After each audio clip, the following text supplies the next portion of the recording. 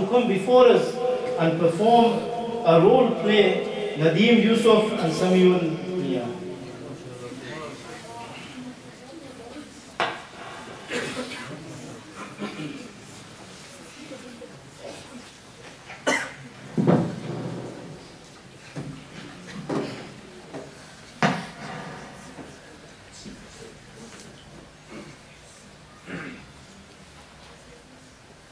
Assalamu alaikum. Walaikum salam. How are you, Karisab? Alhamdulillah, I'm fine. Karisab, I've come for some help. Yeah, by all means, what is it you want help on? Now, the reading Quran the other day, and there was some guy sitting next to me. After I finished, he came to me and said, I read the Quran really good, but the only thing is I have to read the Tajweed. To be honest with you, Karisab, I don't know what Tajweed is, so I'll come to you. So what is Tajweed, Karisab? Tajweed means to beautify. Basically means that we use to beautify the recitation of the Quran. So is this Tajweed important? It's important. It's also wajib learn the basic rules of Tajweed. Huh? Wajib? I didn't know. So is it hard? No, it's not hard at all. There's only a couple of simple rules to learn. Wow, I never knew it was going to be this simple. So could you give me a couple of rules, please? Yeah, I'll give you one like Gunna. What's that? Gunna means to make a heavy sound from the nose. When do you do it? Whenever you find the tashkeel on the noon or the meem, you do Gunna. Could you could you give me the example, please? Uh, so on the noon there is a tashkeel on top, so we do Gunna. Wow, it, it sounds really easy. Looks like I'll be able to learn it in no time. Yeah, it's really easy. So could you give me another rule, please?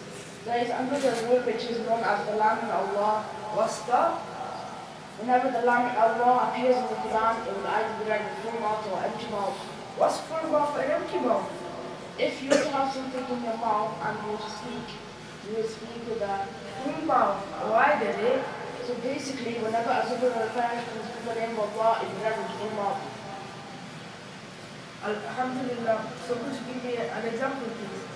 In if a zayr comes for the name of Allah, it will read with empty. For example, Balillah. So, uh, so how do I learn that to? That's a very important question. You should go to the masjid and ask them if they if they teach the Tajweed or if you have time to learn it from books or the internet. The internet?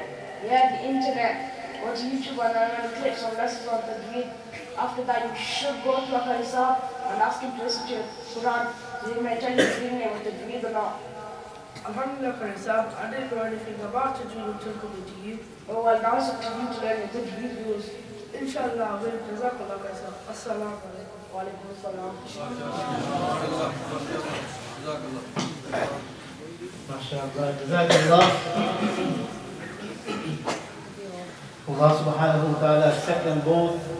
Allah subhanahu wa ta'ala make them both Hafiz al-Quran, Qari al-Quran, Alim al-Quran. And Allah subhanahu wa ta'ala, we make God to Allah that Allah makes them, Allah makes them the coolness of their parents' eyes.